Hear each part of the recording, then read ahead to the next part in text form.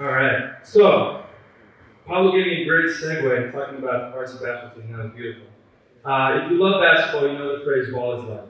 But what does this mean?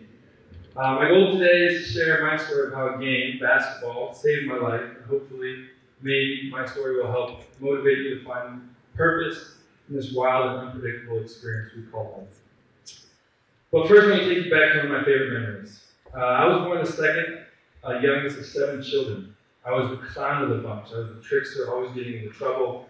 I was wild at home and wild at school, and my report cards often read off task behavior hinders in class performance. And my grandfather, tall, strong, stubborn Texas man, watched me creating havoc and one day said to my dad, I don't want to tell you how to raise your son, but that boy needs a basketball in his hands.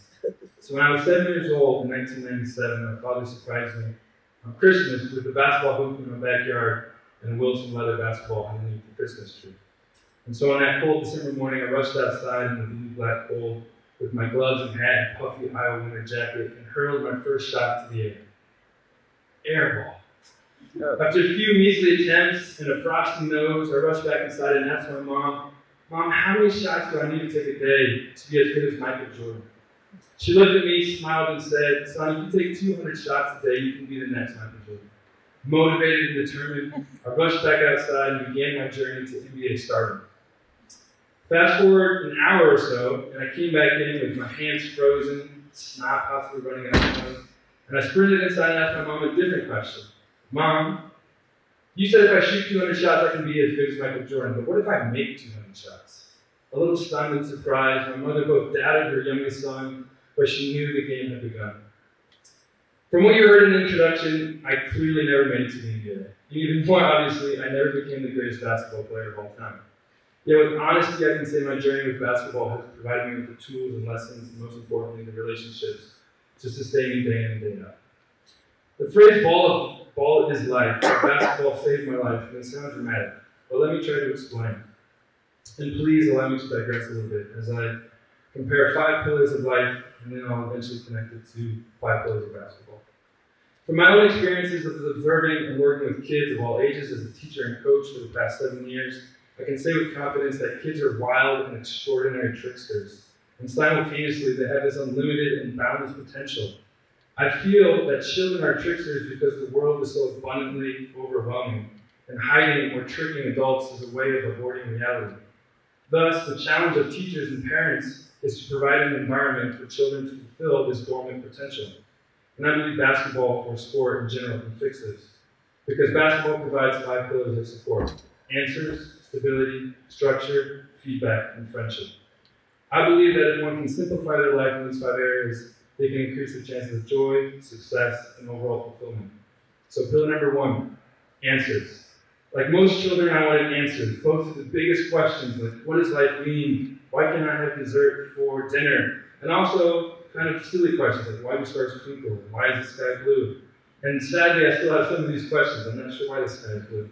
Maybe some of our can help me out. But uh, if children ask questions without any answers, they tend to fall into confusion, which can lead to a feeling of loneliness, isolation, or boredom if this is undirected or unsupported. Pillar number two, stability. As a child, teenager, or young adult, I often struggled and still struggle to control my emotions. And I see the same in my students and players today. Emotionally, I feel we are living in the most complicated of times. Like, seriously, think about it. The social media reality, the advancement of the metaverse, the heightened depression rates in our teenagers, suicide rates, self-harming rates, the, the, amount of drug abuse, ADHD and self-medication, and the general lack of engagement. I fear students are losing hope in the future. And if today's teenagers are anything like me, I can empathize with these feelings of being stuck in a system of rules and constant distractions or general rejection. And over time, these emotions can compound and become cyclical and even more cynical. I'm shocked at how much self-doubt I see in my students. Thus, the sooner students and kids can learn to master their emotions, their mind, the more likely they are to succeed. Pillar number three rules provide structure, and structure provides hope. There are so many rules. Some you can break, and some you can't. And depending on your age, race, sex, social class, rules seem to differ depending on who you are and where you live. So much that so that for a kid, rules appear to be made simply to be broken. And in a world where rules are not the same for everyone, Injustices and comparisons begin to spread like a plague. And once a child or a teenager begins to compare themselves to others, they may feel that this world is built against them, and then as a result, hope slowly dissolves. Pillar number four recognition and feedback. Children and adults wish to be loved and recognized for who they are. I don't believe this is an original or bold statement. However, so many students pass their days without any true recognition of their efforts, growth, resilience, courage, and compassion. All the effort it takes to live a day. And so often we go to bed hungry for warmth and love, wanting to know you did a good job and that you can do it again. Because life is not a 24 hour obstacle. Life is the day in and day out reality of discipline, hard work, patience, and faith. Remove these, and the, individ- the individual and the system will collapse. And finally, pillar number five relationships. We all need teammates, brothers, guardians, mentors, people who share our passions and understandings. Without them, I'm not sure anyone can grow to the truest and best self. Like the late, great Bill Withers said, Brother, lean on me when you are not strong, and I will be your friend. I will help you carry it on, for it won't be long till I'm going to need somebody to lean on. So, how does this all connect back to basketball? Let's walk back through one by one each pillar, and hopefully you can see the connections. Number one, answers. You get what you give. My mother gave me the hope when she said I could be the greatest basketball player of all time. If I only made 200 shots a day, and since my mother never lied to me, I had no reason to not believe her. Soon my shot count rose from 200 a day to 400, 500, and eventually in high school I was taking close to 1,000 shots a day. Some people call this the law of attraction or manifesting your thoughts, but I never loved these because they insinuate that things will just happen if you want them to.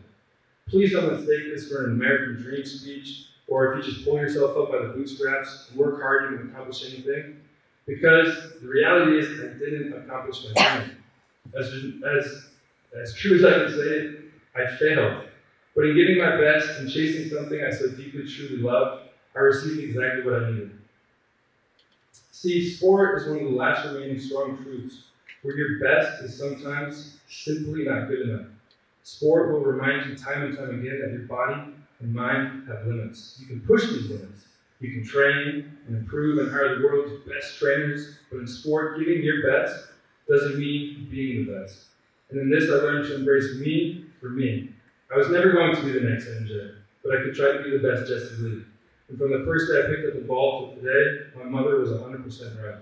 If you practice something every day, and you practice with effort, intelligence, and consistency, then you will manifest your born potential that is waiting to be expressed to the world. I am a state champion. I am a four-year Division One basketball player. I was a captain, and now I'm a coach, and I couldn't be more proud of it. Second, emotional intelligence improves through struggle and challenge. If you ever watch a sporting match, you know how common it is for players to lose their composure. My goodness, think about the World Cup. This guy got headbutted on national TV. There were fistfights in hockey. Bobby Knight once threw a chair onto a basketball court in March Madness. Fans were throwing food and drinks at an NBA basketball game recently. I've seen players fighting players and teammates fighting teammates, all under the pressure of a sporting game. There is no way to describe the feeling of playing in front of 15,000 people. The nerves, the sickness, knowing you're on TV and the world will judge you and call you names if you simply mess up. It's brutal. And when you remember that the majority of sports is amateur, we're talking about children and young adults. We're talking about 18, 19 year olds. I would get sick before I began my play. I would literally vomit sometimes. And almost every player I knew was superstitious for this reason. I would tie my shoes exactly the same way. I would have a mantra that I would repeat over and over. I would eat the same food, and I'd have the same stretching routine, all to try and calm my nerves and emotions to the best of my ability. Because those who could were usually the most successful. There were times I felt entirely and physically prepared, but for me, the most challenging aspect of sport was between the ears. I was not born with the mind of a killer, the Mamba mentality. In fact, scouts would often say, Jesse, he's a great kid, but he's too nice to be truly great. And sadly, there's truth to this. The greatest athletes are very rarely the nicest individuals because it's so difficult to be both empathetic and compassionate when your job is to dominate opponents on a nightly basis. If you don't, you're ridiculed or called soft. But for me, the daily challenge of controlling my breath, recognizing my own fears, performing in front of others, failing publicly on the big stage, being yelled at by coaches, parents, teammates, letting those I love down, letting myself down, and embracing these moments is not only helpful, but sacred and beautiful, is everything. It may feel good when everything is going your way, but these moments are pretty far and few between. So when you have them, celebrate. Enjoy the moment and get ready for the next. Because the truth is, controlling your emotions is not something once mastered you never have to worry about again. Instead, sport gave me the tools to recognize my emotions and regain control. And to this day, like right now, I'm using these habits to live a more healthy and sustainable life. Pillar three, rules. This one is a little more simple. Sports has rules and everyone has to follow the same guidelines. In basketball, when you walk into this 94 by 50 foot court, your gender, race, class, doesn't matter, ideally. And so when the world around you seems steeped in chaos, and justice and destruction, there's so much peace in basketball. I swear to you, the world could be crumbling, but on the basketball court, there's only one game, that game, and that's all that matters. Better yet, these rules are international and transcend our human oral language. The game is wherever court is. I've played in the poorest neighborhoods in Kentucky, on the beach in San Diego, in an all-black neighborhood outside Chicago, in the church hills of Santiago, at my grandfather's Baptist church in Brady, Texas, under the Eiffel Tower in France, in China, Guatemala, Israel, Yale, Harvard, and all over the world. I know wherever I go, I will usually find the sound of a bouncing basketball and people who speak my language. Yes, these rules and lines are arbitrary, thanks to you, Dr. Mason, but when one is playing a sport and they reach the zone or flow state, it's the greatest feeling in the world because you are truly present. Pillar four, two more. Recognition. As a teacher, I always tell my students to learn for the sake of learning. And you probably told your children this as well. And as a coach, I tell my parents to never worry about their opponent, but to always focus on competing against yourself. To be the best you, to be the best team. While I stand by these ideals, what I also feel is valuable to the growth of children and adults is feedback. So let me clarify. In school, students take tests and write papers so they can receive feedback from their teachers, and hopefully they will reflect on this and go back and try their best to improve. It, yet it works, and it works, and in work or relationships, I feel the same is true. We have progress reports with professionals, we are observed by our peers, in relationships, it's important to have open and honest communication about ways we can support each other better. Yet the reality of all this is that life happens, and emotions are involved, and biases seep into our consciousness, and especially in relationships. Intentions and tensions and alternate motives can twist and manipulate the truth of feedback and recognition. I guess what I'm trying to say is that in sport, recognition and feedback is brutally honest. If you mess up, you see it. If you fail to give your best, you're beat. If you run the wrong play or don't listen to coach, you're pulled from the game. Teams and coaches and organizations set expectations. When you fail to meet these, you hear about it, sometimes publicly. It's brutal. What this does for a player is it gives them personal accountability and continual feedback. And eventually, I promise, this will carry over to your own life. Finally, relationships. It's the most important one. All is life because of the people and the relationships you build, like love. In hopes of not getting overly emotional, forgive me if I begin to cry, but to pay, but to pay back my teammates, coaches, parents, and grandparents, and now players, uh, it's an impossible task. The amount of love and support and guidance and forgiveness I've received because of basketball is humbling. And the same is true for anyone who decides to put on a jersey. The family of basketball is global, devoted, and eternal. Beginning with my teammates, you are the brothers or the sisters for life. To this day, I know I can call on any one of my hundreds of teammates, minus a few, and they will be there for me no matter what. We went through heaven and hell together, the blood, sweat, and tears, the road trips, the practices, the locker room dance-offs, which I won, the parties, the losses, and the championships. Because of that, we share a bond that is never broken. Now I'm going to their weddings, and I'm seeing them have their first children, and the bond only grows. Teammates are essential to individual success because competition brings out our best and worst. And I owe my greatest gratitude to my teammates for showing up to push me on my best days and picking me up on my worst. I respect individual sports and the mental fortitude it takes to be the world's greatest sprinter, swimmer, tennis player. But in my humble opinion, team sport is unparalleled. Life is about working together, coming together, failing together, succeeding together, and putting aside differences to fight for a common goal. To the elders, the old timers, the legends, the MJs and Kobe's, the ones who came before, regardless of whether you ever met them or if their poster was only ever on the wall, their passion, your passion and love for the game has motivated millions. I liken this to God's because y'all are worshipped. You give kids like me someone to look up to, an impossible standard to dream of. And those bonds, those emotions are real. So thank you. I've even named my dog Kobe, so I can say his name every day. Kobe. I know these individuals are far from perfect and have made mistakes publicly, and have faced these criticisms publicly, but for all their flaws as husbands, as fathers, as competitors, as humans, they have maintained their courage to keep going. More than anything, I know they are examples of the single most important lesson I've learned from basketball.